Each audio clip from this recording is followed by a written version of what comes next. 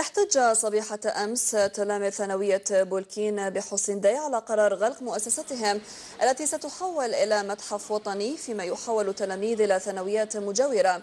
التلاميذ الذين اعتبروا أن تحويلهم إلى ثانويات أخرى لا يخدم مصلحتهم كما من شأنه أن يؤثر سلبا على مردودهم الدراسي العام المقبل سيما المقبلين على شهادة البكالوريا. تغطية كانت لجمال الدين بوشا وإسماعيل محبوب.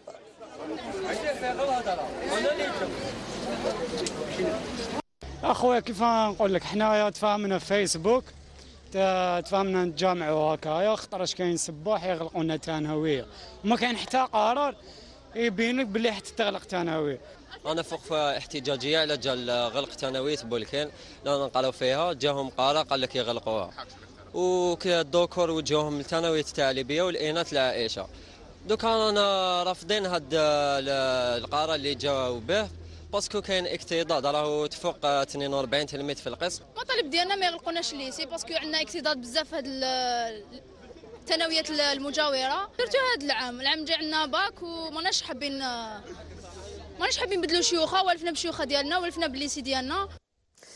احتجاج التلاميذ لم يقف عند هذا الحد بل استطاعوا أن يكسبوا تضامن بعض الأساتذة والأولياء الذين طلبوا هم أيضا بضرورة إلغاء قرار غلق المؤسسة وتحويلها لمتحف أثري. أمر دبر بليل. la preuve أنه خلاو التلاميذ يخرجوا راحة. الأساتذة يدوا العطلة تاعهم وبداو يديروا في المكيدة هذه. يحولوا التلاميذ. السنوات الأولى المفروض يجونا إلى ثانويات أخرى.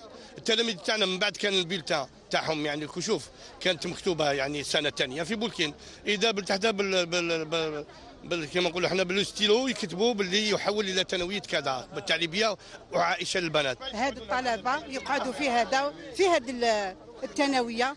هو في عامهم تاع الباك وماذا بينا ما يضيعوش. خاصو كانوا يخرجوا من الأفكار تاعهم تتبدل. وبنتي متعلقة بزاف بهذا مريحة فيه. الأساتذة عاجبينها.